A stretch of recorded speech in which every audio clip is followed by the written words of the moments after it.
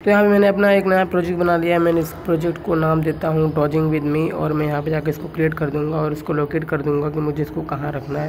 Exactly मैं और यहाँ मैंने इसको क्रिएट कर दिया और सबसे पहले एक फुल सबसे मुझे इसका बेस बनाना पड़ेगा और बेस बनाने के बाद मुझे एक ऑब्जेक्ट चाहिए होगा जिससे कि मैं लेफ़्ट राइट मूव कर सकूँ।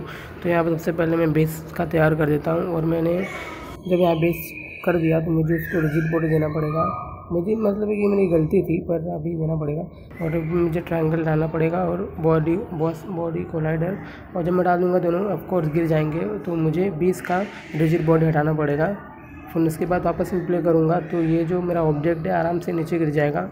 और जब मैं इस अब मैं इसके अंदर एक स्क्रिप्ट डाल दूँगा कि जब मैं लेफ़्ट राइट दबाऊँगा तो वो लेफ़्ट राइट होगा।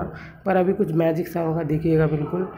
और मैंने एग्जैक्टली exactly होगा क्या कि मैंने इस स्क्रिप्ट को कहीं और प्रोग्राम से उठाया मतलब जो मैंने बनाया तो उसके अंदर थोड़ा बहुत एरर आ गया है। और, जब मैं वापस इसको रन करूँगा तो जब मैंने उसको पूरा रीसेट कर दिया है कि मेरे को किस तरीके से इसके अंदर काम करना है तो मैं यहाँ पे ग्राफिक एक्स का यूज़ करने वाला हूँ। तो मैंने पहले ही बना दिया है एनिमेशन टाइप का तो मैं इस एनिमेशन को अपने यूनिटी के गेम के अंदर यूज़ करने वाला हूँ। और यहाँ पर हो गया मेरा पूरा गेम तैयार। और जब मैं यहाँ पर लेफ़्ट दबाऊँगा तो वो मेरा जो ऑब्जेक्ट है वो लेफ़्ट या राइट जाएगा। और जब आप नीचे जो नीचे बटन देख रहे हो लेफ़्ट वाला, वो मैंने एंड्रॉयड के लिए बनाया है, क्योंकि जब एंड्रॉयड में तो हम लोग लेफ़्ट राइट बटन क्लिक करेंगे उसके ऊपर स्क्रीन के ऊपर तो वो लेफ़्ट या राइट जाएगा। तो ये मैं मैं अभी कंप्यूटर के लिए बना रहा हूँ तो ये इसका उससे कुछ मतलब नहीं है, सिर्फ़ मैंने डिज़ाइन के लिए उसको दिया है। और इसमें फंडा ये है कि हम लोग को और सब ऑब्जेक्ट पकड़ना है, पर मुझे जब मैं ब्रिक्स के ऊपर टकराऊँगा, जब मैं टकराऊँगा तो गेम ओवर हो जाएगा। तो ये सब मेरा मेन्यू है। जब गेम स्टार्ट होगा, सबसे पहले मुझे मेन्यू दिखना चाहिए।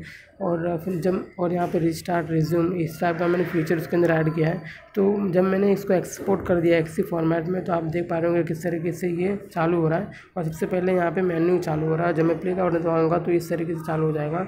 और रिज्यूम रिस्टार्ट और इस तरीके का ऑप्शन ये सब मैंने पहले ही ऐड किया है। तो मैंने यहाँ पे क्वाइट करने के बाद मुझे वापस इसको चालू करना पड़ेगा। और ताकि मैं कुछ और आपको दिखा सकूँ।